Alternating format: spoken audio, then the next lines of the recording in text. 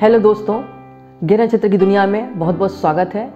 तो दोस्तों, देवगुरु बृहस्पति की चाल जो है, आज बदलने जा रही है। इसका निम्न राशियों पर बहुत प्रभाव पड़ेगा और ये प्रभाव जो है लाभदायक भी हो सकता है और हानिकारक भी हो सकता है। तो दोस्तों, पहले हम ये समझने की कोशिश करेंगे कि गुरुदेव बृहस्पति की चाल कितने बजे से परावर्तित हो रही है। तो जो देवगुरु बृहस्पति हैं, वो 20 नवंबर 2021 रात्रि ग्यारह बजकर पंद्रह मिनट बजे कुंभ राशि में दोस्तों प्रवेश करेंगे और अपने इस घर में 13 अप्रैल 2022 की दोपहर में तीन बजकर पैंतालीस बजे तक रहेंगे।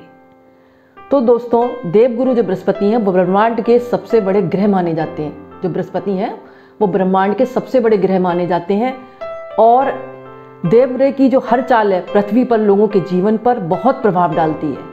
वैसे तो ग्रह और भी हैं लेकिन सब ग्रहों में जो है बृहस्पति जो ग्रह है, सबसे बड़ा माना जाता है। और इसका जो भी प्रभाव है, वो मतलब जीवन पर बहुत ही कर्रा प्रभाव डालता है। और जो देवगुरु बृहस्पति का कुंभ राशि में परावर्तन है, वो मेष वृषभ और मिथुन राशि वालों के लिए बहुत ही अच्छा रहेगा। और वो किन क्षेत्रों में अच्छा रहेगा, वो आपको मैं बताने जा रही हूँ। सब प्रथम क्या है, ये लोग जो हैं, मेष वृषभ और मिथुन राशि वाले लोग जो हैं, वो धन धन संबंधी मामलों में लाभ प्राप्त करेंगे, यानी माला माल की स्थिति होगी दोस्तों। और घर पर मांगलिक कार्यक्रम होंगे, शादी, विवाह, अच्छे कार्यक्रम होंगे दोस्तों। और समाज में इनका मान सम्मान बढ़ेगा, जो भी काम कर रहे हैं ये। और व्यापार में भी नए अवसर प्राप्त होंगे, यानी कोई भी व्यापार कर रहे हैं वो, उसमें उनको नए अवसर प्राप्त होंगे।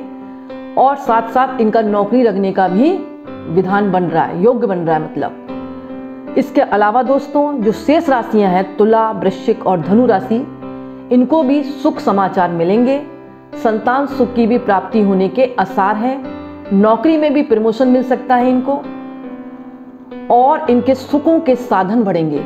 यानी सुख के साधन वाहन है, घर है।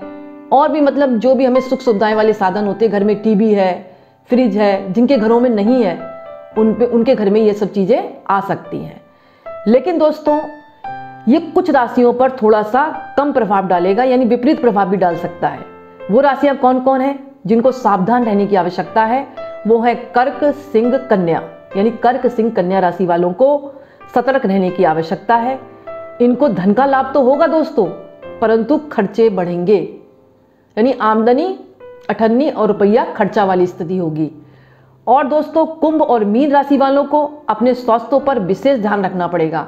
यानी कोई भी बीमारी हो सकती है। छोटी बीमारी है, बुखार आया तो वो पंद्रह दिन तक पड़ी रहे, पेट में दर्द है तो काफ़ी दिन तक पड़ा रहा।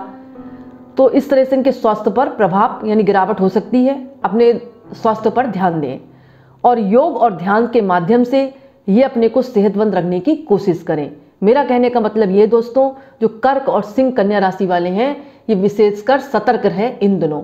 क्योंकि मैंने आपको बताया कि आज रात्रि से गुरु बृहस्पति की चाल बदल रही है। जो अपनी कुंभ राशि में प्रवेश करेगी।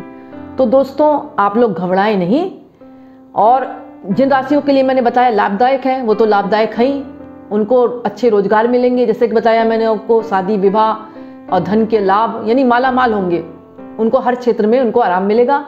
लेकिन जिनके लिए ये प्रभाव कम पड़ रहा है, इसका मतलब प्रतिकूल प्रभाव है, उनको भी घबराने की ज़रूरत नहीं है।